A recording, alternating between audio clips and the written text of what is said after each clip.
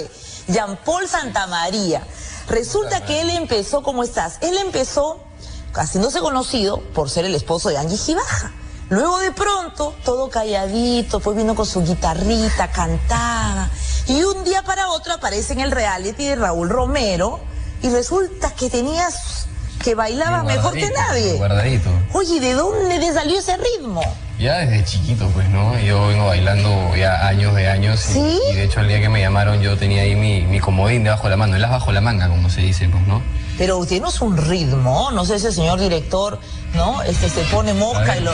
Pero un ritmo que decíamos qué mala pareja le tocó, porque él es el que hace todo el esfuerzo, y de verdad, Vanessa Tella muy linda, muy bonita, la modelo, pero eh, es como un tronco, ¿no? No, Sí. pero de hecho se esforzó, o sea... de Se esforzó, sí, pero, pero tú tenías un ritmo increíble, ¿no? Gracias, gracias. Oye, ¿de verdad? ¿Y de dónde? ¿Cuándo?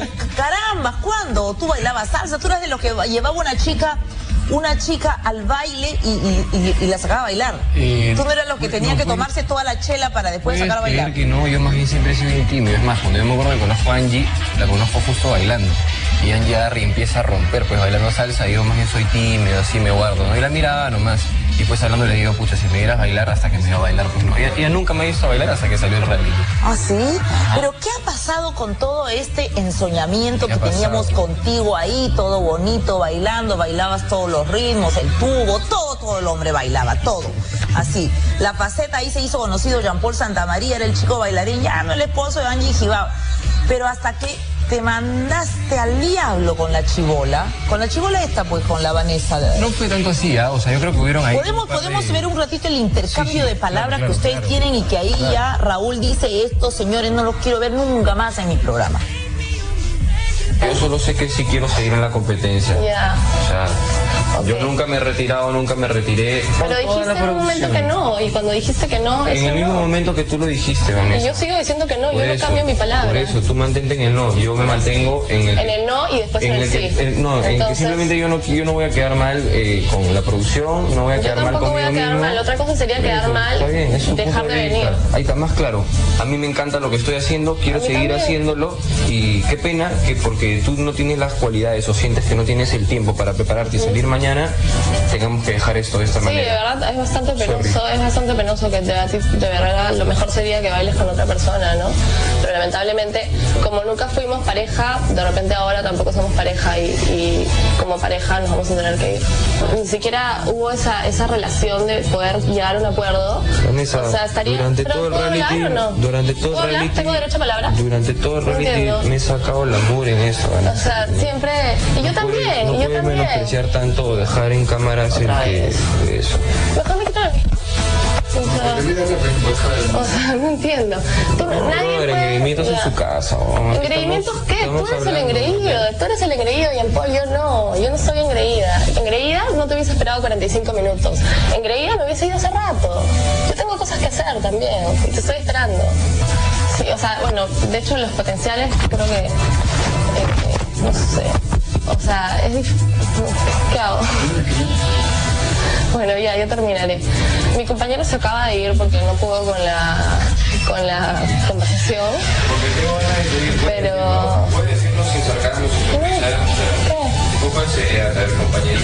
Decirlo, mi compañero se va porque tiene ganas de seguir y no aguanta esta hipocresía de sonrisas y cosas. Yo, yo soy sincero, Vanessa, siempre he sido transparente. yo también. Entonces no, no, sé, no sé por qué sonríes, no, no hay algo que Porque soy una mujer feliz. No, Porque feliz. tomo la vida con alegría, porque si no te vas a hacer sufrir. Está bien, qué bueno.